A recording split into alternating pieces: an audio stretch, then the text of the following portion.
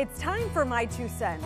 All this hype about the solar eclipse has me thinking about something even more limitless than our vast universe. It's this a mother's love. When my oldest child turned two and I was about to deliver his sister, I remember having a moment of panic to which other mothers can relate. My son was my world.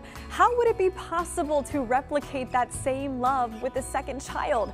As soon as I met my daughter, all of those worries evaporated.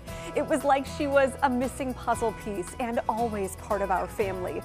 God knew what to do. Maternal instincts kicked in and my heart expanded. Literally, it did.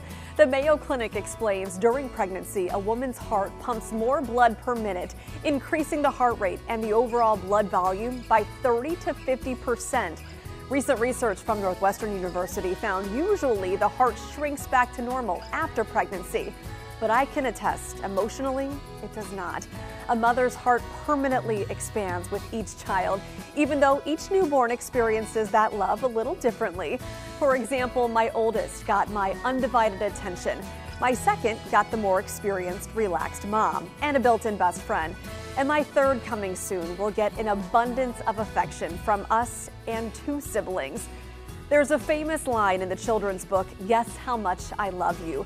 Little Nutbrown Hare tells his mom, I love you right up to the moon and back. But mom knows the moon isn't far enough to measure and reciprocate that feeling. A mama's heart knows no bounds, just love.